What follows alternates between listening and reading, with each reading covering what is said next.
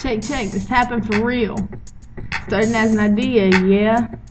We got a sponsor. And then here.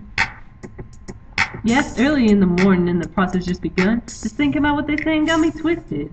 And I'm not sure how to take it, but it's driving me insane. They're sitting in there deciding my thing. And I got to Congress, under the microscope, being studied non-stop. Hope I don't get killed. Man, I wouldn't know how to cope. I'm feeling helpless in community, and that's no joke, with nothing else to contribute, so I'm closed for a good vote. I'm carrying next on the road, here we go. And now it's back to committee to promote me some more. Speaker of the House, I got my date set on the calendar For a large debate. This one for yes, Yes. and the other for no. No. First stop the House of Representatives, you know. Support me or tear me down, you got a limit. Unlike the Senate, that can run them minutes. Unless, of course, we call a vote. Stop this filibuster and get on with this note. Otherwise, you can die in that room. If it ain't 25, go on to your turn.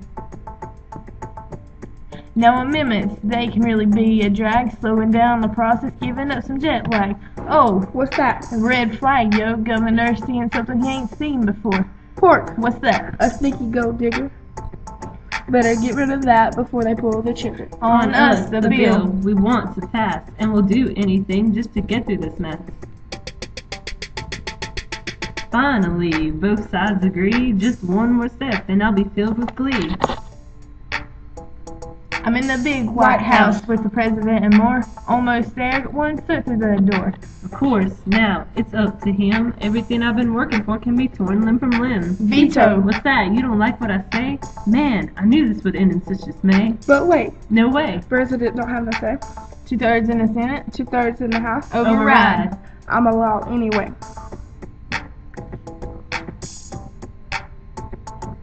Man, I'm glad I passed on straight through, or else I'd be back all the way to step number two. And that would be whack.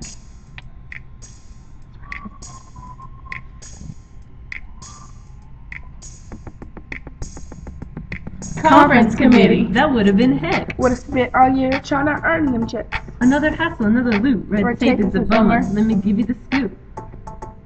Too much paperwork in this bureaucracy. Bureaucracy. But that's okay. We need the trouble, you see. Our founding fathers made this our, Our decree. decree.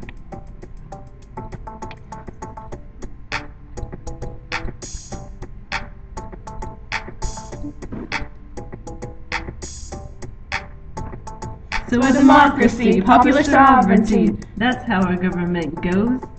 And that's how a bill becomes a law, yo.